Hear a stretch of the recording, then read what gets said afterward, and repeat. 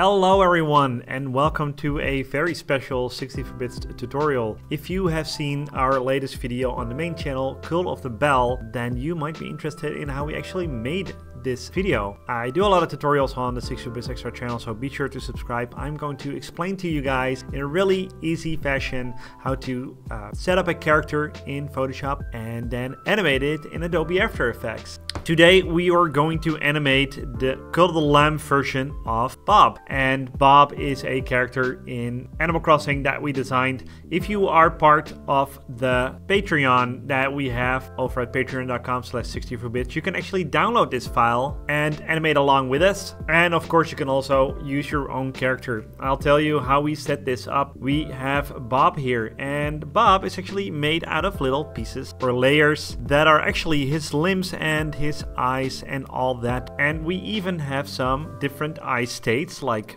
let me turn off the eyes in Photoshop and then let me turn on the closed eyes so he can be happy and he can be, well, content or maybe he's sad or maybe he's really happy. And we are going to import this character into Adobe After Effects and then set him up and give him a little animation. So I hope you can follow along with me. So with After Effects open, instead of going to new composition uh, right away, I'm going to import file and then I'm going to select my villagers Photoshop file, double click that, make sure it's on composition, retain layer sizes, editable layer styles, that's fine. Okay, now in this file, if I double click this composition that it made, I can actually see all the characters that are in the Photoshop file as well. Let me quickly turn off all the layers and also make this transparent so I can really closely take a look at Bob. Now I actually want to make a duplicate of this composition so that if I want to make another animation from scratch and start with this pose, I don't have to re-import the whole PSD. So what I'm going to do is I'm going to right click it, say reveal, reveal layer source and project. You can see a long list got imported by After Effects. I'm going to just drag this one out, create a new folder. I'm gonna call it comps and put Bob in there. And this is all optional, but just to work in a tidy workflow, I'm gonna call this Bob setup. I'm gonna double click this and I'm gonna take all these body parts and I'm gonna connect them all together. In this case, I'm gonna start by connecting the head to the body. So I do that by clicking the item, going down, going to head, and you can see the parent and link window here. And since I named all the layers correctly, I'm gonna drag the little lasso tool from head to body. So if I move the body right now, it's gonna stick together. I'm gonna do that to all the body parts of the face as well and connect them to the head. The arms and the tail we connect to the body. And then the legs for now, we're gonna keep them as is so that if he rotates his body, his legs don't also move like this. We don't want that. Now I wanna make sure everything rotates over the correct axis, so I'm going to like this is not good. We want it to rotate over to this point. So what I can do is I can go to pan behind, click that, see the little target arrow right there in the center. I'm gonna drag that all the way down to the neck. And if I select the rotation tool now, you can see it actually moves in the right position. I'm gonna do that to all the body parts. So the arms are gonna be at the shoulders and the tail, the body, the legs, on the hips, and all the eyes are actually all good for now. So let's test it real quick. Yes, you can move correctly. This looks pretty good. Yes, Okay, fine. But as you can see, the characters don't really have joints, and we can simply solve that with something that I think is really fun. A really fun tool is the puppet tool. And if you go to the puppet position pin tool right here in the corner or control P, you click that, and with the layer selected, I'm gonna put a pin on the shoulder, the elbow, and around on the hand. So if I move them, actually warp them around. And this is a tool that you can find in Adobe Animate, and Spine, and Moho. And it's a lot of fun, but just uh, be careful because you can go really nutty with it and it will look all bad and distorted. Let's do that to the other arm as well. Grab the pin tool, el shoulder, elbow, hand. Gonna do that to the tail as well. Let's do three, I think. There we go. Let's do that to the legs as well. Hip, knee, foot, hip, knee, and foot. So now our character can actually bend down or put his legs up, maybe walk. So when I start using that puppet tool, you can actually see that everything opens up right here. And that's because it's actually creating a lot of keyframes. And we need those keyframes. I can open these up. But as you can see, I need to open up a lot of things and I only have so much room in my timeline. But you can see indeed three keyframes, one for each of those little yellow dots. However, if I press U with everything deselected, press U again, you can see it only opens up the things that have keyframes. You can see the left leg, I can click one of the pins, and yes, I can move him around. I want. If I made a mistake, I can always press reset. Now if I go forward in time and I want to lift this leg up, you can see it's making new keyframes. So now it will animate in between. Let me select those and delete those. Something important you gotta know with After Effects is that you always have to turn on keyframes before animating them. So let's select the head, move up, Let's open this up transform, I'm gonna press the little stopwatch on position, on scale, and rotation. So if I go forward in time and I move the head, you can see it automatically makes a keyframe. But if I turn off the opacity, you can see it does not animate him. That state is permanent because I did not turn on the stopwatch there. Let's turn it all the way back to up to 100 and we can see we have a little animation now. Even squash it position it. Uh, now my character will, well, it's a little weak, but that's a little nod, I guess. Let's delete those keyframes. So what I always try to do is before we animate anything, I will turn on the keyframes of things that I think need animation. And there's a lot of layers right now. So if I can't find the body, once I select it, I can press the letter X and X marks the spot. It will jump right to the body. If I don't want to trail over everything like this and then turn all the keyframes on, instead I will select it I will say P, hold shift, press R, hold shift, press S. So now with Shift P or Shift S, Shift R, I can turn off position, but I can also turn them on. There we go. And again, with nothing selected, I can press U, I'll scale up the timeline a little bit. And I can see all the keyframes right here. So with this, I think I got Bob's head up. I'm going to go to my project panel, duplicate it with Control D, and it will make another composition called setup 2. I'm going to turn this into, let's do wave. Now I made an exact copy of the Bob setup composition so that every time I want to make an animation with the character, I don't have to do that whole setup process all over again. Alright, so let's make a wave animation. Got all my keyframes. Again, if they're not there, you can press U to close them all down and U to open them all up again. Let's say U is universe, like everything. Let's move forward in time, let's say half a second. Let's move his head up a little bit. Let's move his body up a little bit as well. And maybe move his arm up. Like this. He's gonna wave. Eh, he can put his other arm inside his side. Again, watch out. You don't want to squash and stretch this too much, otherwise it will look bad. Grab the tail. Maybe the tail can go down a little bit as well.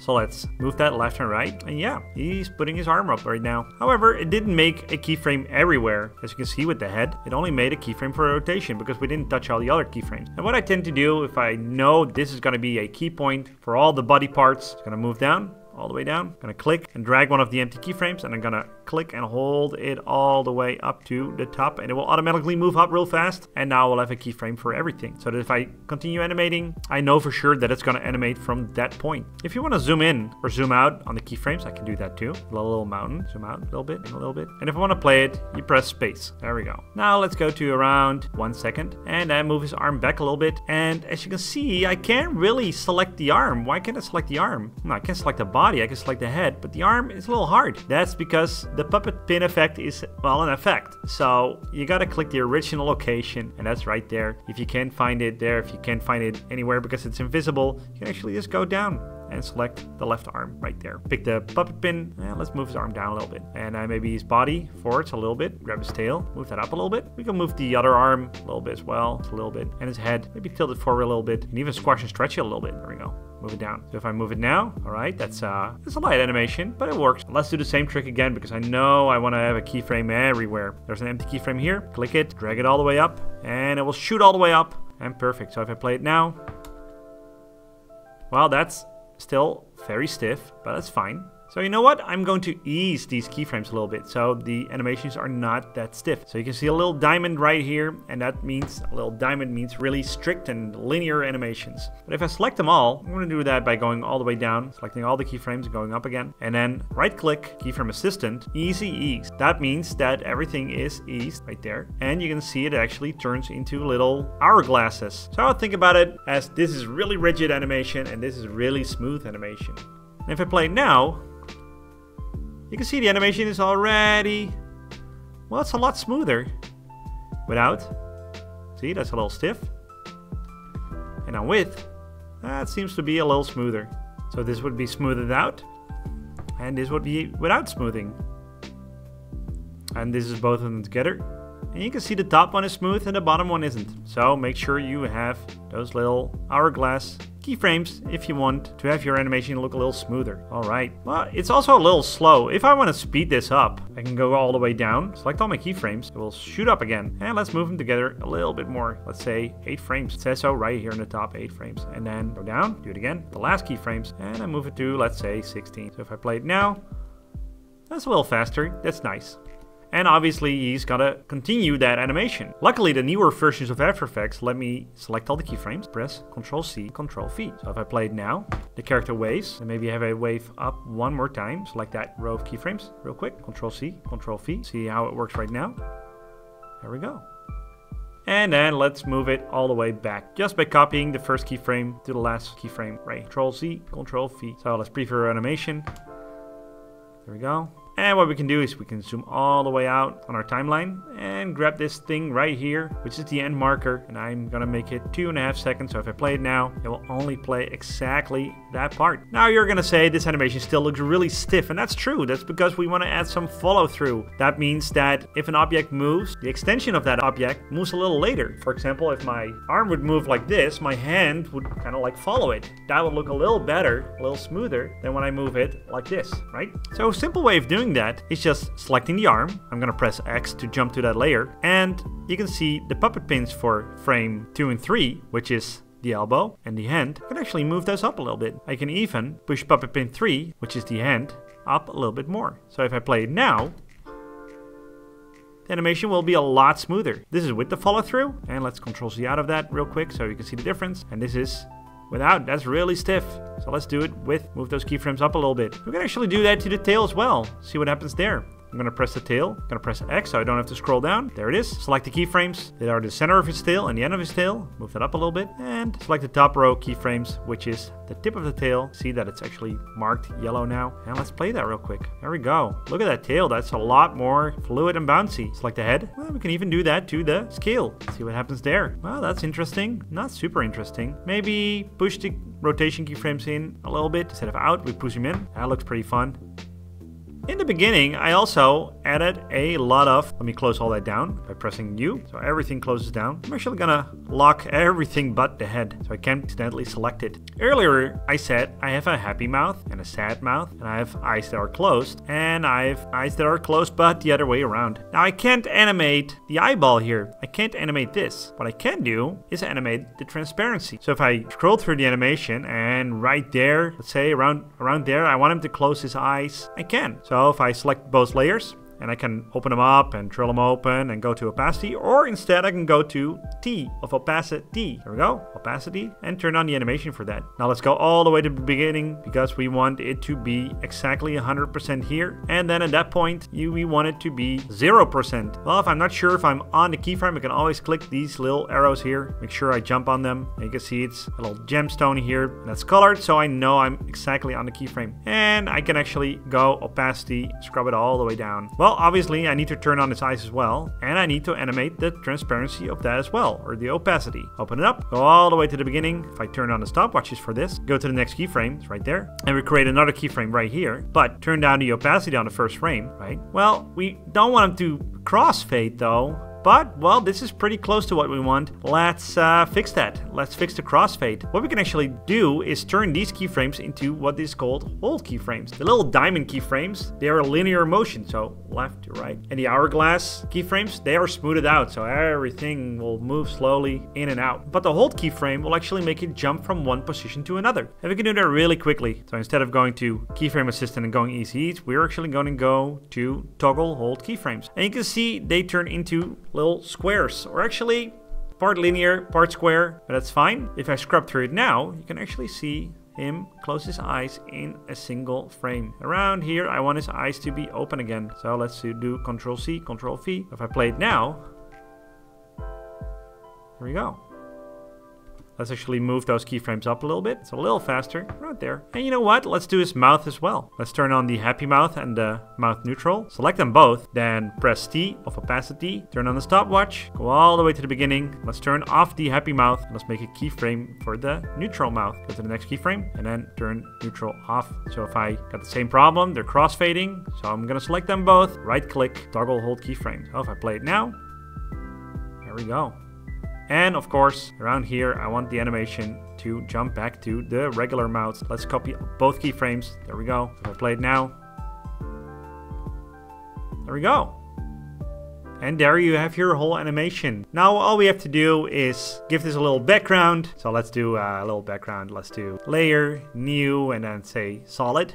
And let's say, let's make it a uh, like a soft pink. Press OK, OK. And now my character is gone. Obviously, I have to click and drag this layer all the way to the bottom. So if I play it now, I have a little background and I can even export it by going to composition. I can either pick render queue or media encoder render queue. And to keep it simple, we're gonna go with render queue. The render queue should open up right here and click the little arrow. And YouTube usually uses around this setting right here, H264. Maybe this gets a little technical, but let's click that one and say where we want to save it, Bob Wave, and let's save that right here and press render. Let's wait a little second and boom, it's done. And there we have our little animation. Now, obviously this is just a simple animation, but this should give you a good overview on how to set up a character from Photoshop in After Effects, animate it, and even export it. And if you look at our other video about how we actually made of the Lamb, then you actually see how we import it into Blender and actually turn it into a whole animation with all the characters coming together. So be sure to check that video out as well, which isn't going into detail on how to do every step. It's just going to show you how the project was put together. If you want to try this yourself with these characters, be sure to go to our Patreon and download the Photoshop file that I've been using in this video. And also consider supporting us on Patreon because it's really hard to get by with just ad revenue and it supports the channel and it makes us be able to make more animations like this. Let me know if you have any questions in the comments or on the Discord channel. If you do not already have Photoshop and After Effects, you can also check a link in the description and sign up today and get 30 days free. And you'll also be supporting the channel. So be sure to check that out as well. Thank you so much. This was a beginner tutorial on how to set up characters in Photoshop and animate them in After Effects. Uh, see you in the next one. Be sure to subscribe, like, everything. Bye bye.